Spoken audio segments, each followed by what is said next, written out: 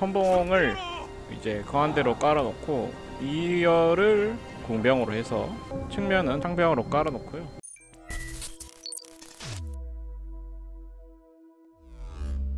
특징이 뭐냐면. 이렇게 오잖아요.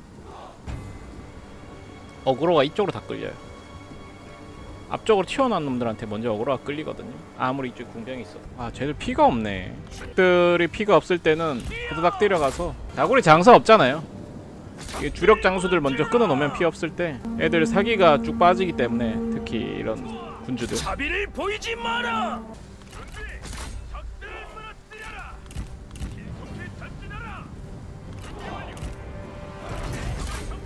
살짝 때려놓고 실력 없다는 건 잘 알겠다. 기병 너 자기가 다 빠졌습니다. 이럴 때는 기병대 빨리 가가지고 애들 잡아주면 될 것 같아요.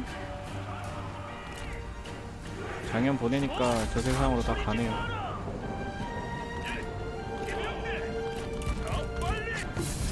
어, 주대한테 왜, 왜 덤비지? 아군 장군이 승리하리라. 구도가 너 미쳤어? 왜 주태양한테 덤벼? 응? 주태양한테 덤비면 안 되지 우도가 이 도정놈아 도정놈 시키가 어우 세모님 오랜만입니다 어서 오세요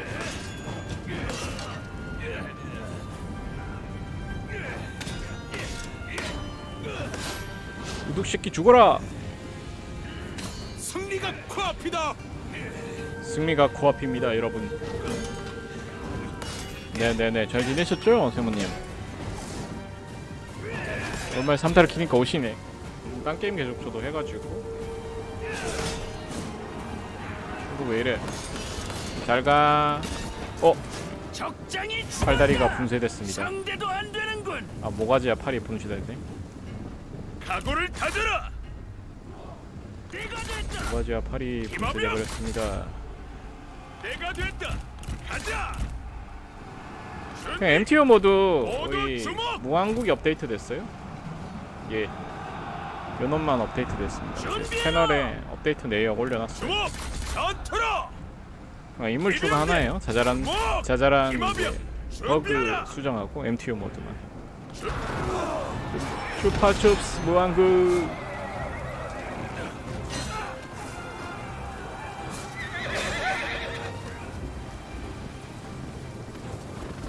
몽둥이 한 방이 뚝배기 한 방.